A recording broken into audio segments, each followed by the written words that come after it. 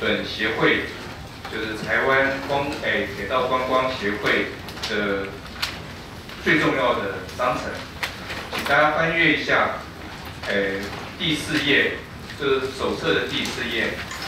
我们的台湾铁道观光协会的章程总共六章三十六条。那么可以这么说，去年诶交通部光局跟台湾高速铁路公诶，以我们台湾铁路管理局呢，签了一个铁道的 MOU。那么我们觉得在这个平台还不太够，我们希望能够更更结合诶更多的产业界、学界。以及我们诶观光旅游业界，还有很多铁道迷能够一起来参与，所以在三月之前呢，我们就写了一个非常重要的我们的本协会的章程。那么这个章程呢，诶我们送到内政部，内政部也核准在案，是五月十三号。那今天务必就是经过两次的筹备会议之后，我们做一些调整。那利用这个机会要跟大家报告。那个大家请看一下第二条，第二条本协会，那再就是所谓的本会，我们是依法设立，而且经过内政部核定，那么以非盈利，啊，所以这个特别跟大家报告一下，我们是一个非盈利为目的的社会团体，来链接铁道、观光与文化为主轴，我们希望能够作为知识共享与产业创新的发展平台。那么我们以活络国内以及海外、国外的铁道旅游为宗旨。那么接着就是第五条，在筹备会的时候也做了广泛的讨论。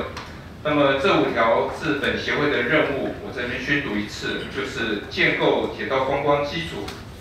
第二呢，就是协助推动铁道观光旅游事业。第三个是举办国内与国际交流活动。第四个是促进知识交流与研究发展，第五是办理研讨讲习与教育训练，第六其他与铁道观光及文化相关的事项。那这个部分呢，呃，请各位会员再确认。那么第二章，也就是我们书面资料的第五页，在经过大家讨论以后呢，我们决定把学生会员删除。那么个人会员呢，从二十岁呢就降到十八岁。好，这是一个我们这次在讨论的时候一个非常重要的一个一个修正。那么这个也跟大家报告一下，因为虽然铁道迷有十五岁哈，哎，还有碰到我最年轻，刚刚以前当铁路局的服务的时候，还有一个十四岁国中生，早上六点钟跟我卖，哎，然后问了很多问题，然后到六点半的时候我说你赶快上学。我想说，我们这个协会啊，可能还是用下修了哈。一般协会都二十岁，好，所以我们是十八岁。好，那这个部分是我们这次修正。好，另外就是这个其他的跟一般的人团体都差异不大。好，那么我想说，请大家参阅。那么再翻到第六页，就是我们在筹备会的时候，对十五条做了一个修正，就是本。本会呢，就是本协会这个治理事十五人，监事五人。那么原来报内政部的时候呢，我们的候补理事是两人，候补监事是一人。啊，经过筹备委员的讨论，那我们修正为候补理事三人，跟候补监事两人。我想说特别跟大家报告。那么其他的部分呢，也就是在第七页。哦，第七页呢，就是第二十四。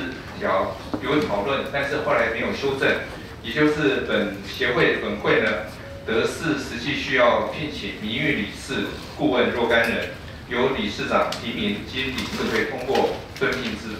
哦，这个有讨论，但是我想还是利用这个机会跟大家报告。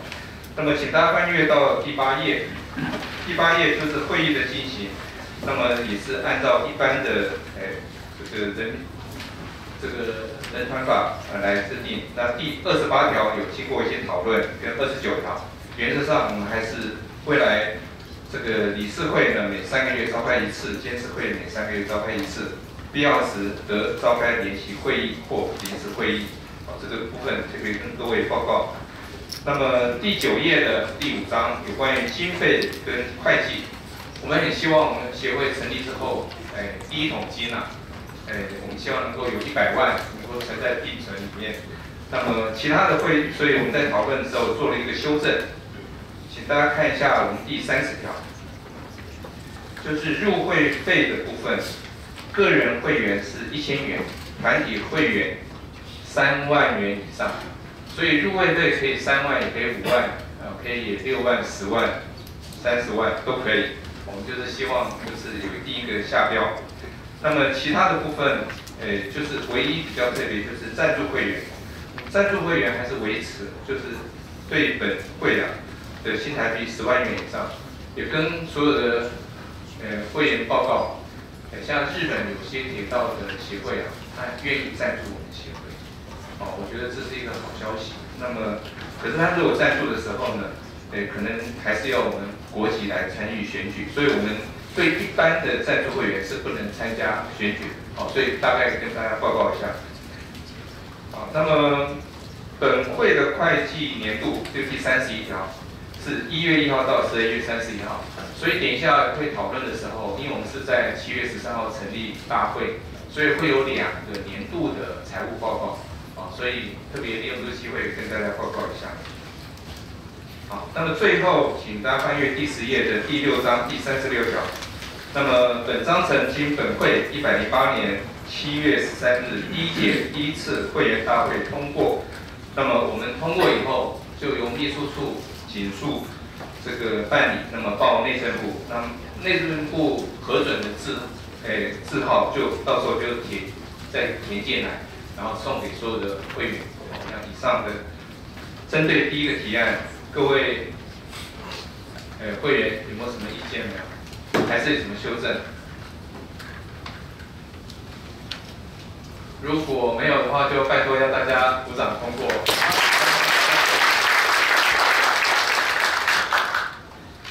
有一次内政部告诉我，鼓掌通过很重要，表示是同意的意思，要不然就要让投票。好，提提案二，哎，司仪要不要先读一下？哎，提案二，我们审议一百零八年以及一百零九年度的工作计划。